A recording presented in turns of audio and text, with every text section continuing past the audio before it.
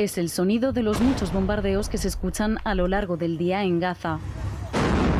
Israel sigue difundiendo imágenes como estas de sus operaciones.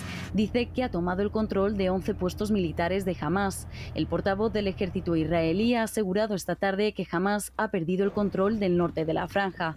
Los islamistas han respondido con estas otras imágenes aseguran que han atacado a soldados israelíes en el norte de Gaza y añaden que en las últimas 48 horas han destruido 160 objetivos de Israel en Gaza mientras en la frontera con el Líbano ha continuado el fuego cruzado entre el ejército israelí y la milicia Hezbollah. Su líder ha hablado hoy por segunda vez desde el inicio de la escalada bélica.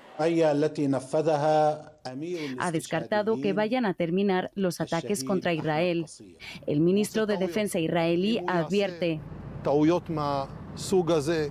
si Hezbollah sigue cometiendo este tipo de errores, lo pagarán los libaneses. Lo que estamos haciendo en Gaza sabemos hacerlo también en Beirut, ha dicho. Al otro lado de la frontera, en el sur del Líbano, detonaciones como estas de la artillería israelí dejan ya decenas de muertos.